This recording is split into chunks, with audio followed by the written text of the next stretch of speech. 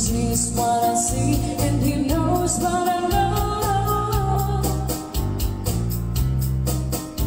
So don't fall.